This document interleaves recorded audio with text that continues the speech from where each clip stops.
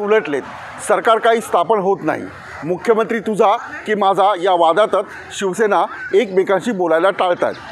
आज सकाळी सुरुवात झाली ती सामनातील खरमरीत अग्रलेखामुळे. या अग्रलेखात भाजपवर सडकून टीका करण्यात आली.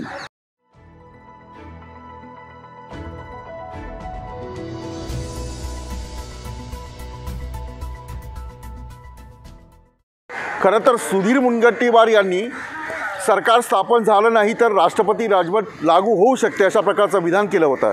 यावर सामनातून खरपूस टीका करण्यात आली आणि ही टीका भाजपच्या नेत्यांना लागली. वक्तव्यावर प्रतिक्रिया देण्याची आवश्यकता नाही.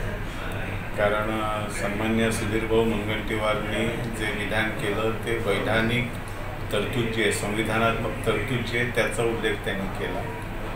की विधानसभा एका विशिष्ट वेळेमध्ये स्थापन व्हावी लागते.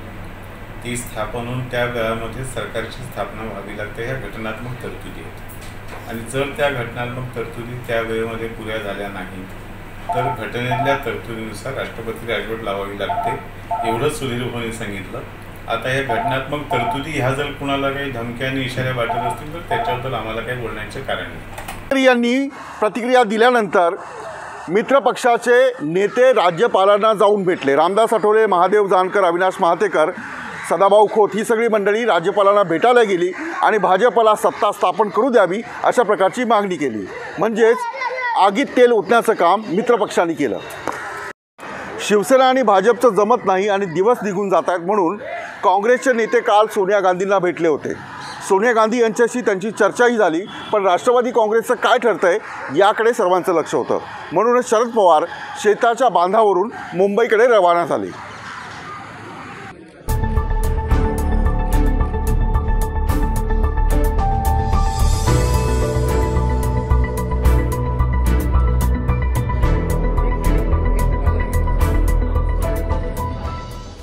विधानसभा जर कॉन्स्टिट्यूट झाली नाही तर ॲटोमॅटिकली या ठिकाणी राष्ट्रपती राजवट लागू करण्याचा अधिकार हा भारत सरकारला आहे. भारत सरकारच्या होम मिनिस्ट्रीला आहे. त्यामुळे कोणाला तर धमकी देण्याचा विषय अजिबात नाही आहे. धमकी ते देण्याचं काम शिवसेना का करत आहे. शिवसेना आणि उद्धव ठाकरे अत्यंत सोबर आहेत अत्यंत नेतृत्व आहे. बाळासाहेब ठाकरे यांचा खरा वारसदार म्हणून ते काम करतायत.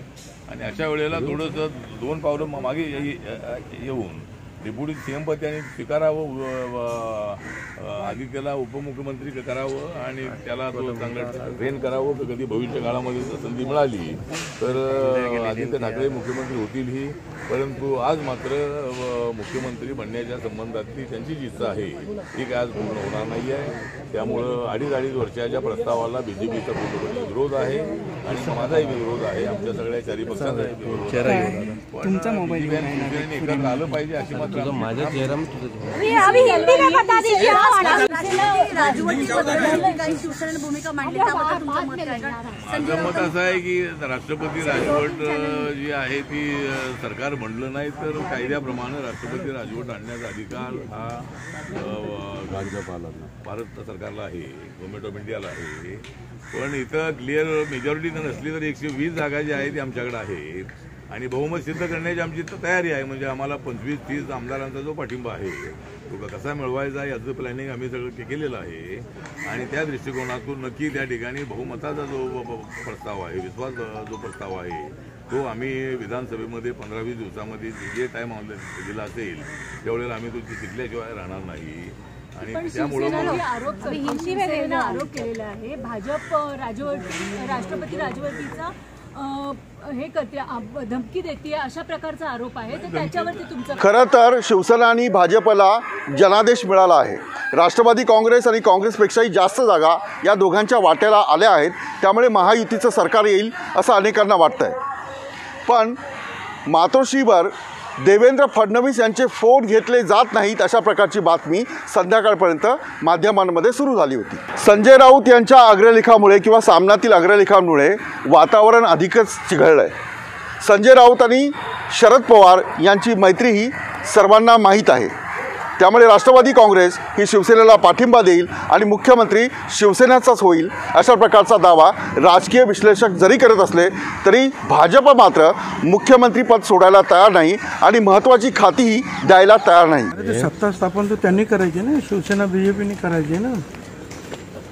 पण सुधीर मुनगंटीवार म्हणतात की राजवट राष्ट्रपती राजवट लागू लागू होऊ शकते. मला वाटत नाही. ताबडतोब काय असे काही राष्ट्रपती लागू राजवट वगैरे काय लागू होत नाही. त्यांनी महायुती केलेली होती. महायुतीतले ते घटक आहेत. मी देखील काही चॅनलवरती बातमी बघितली.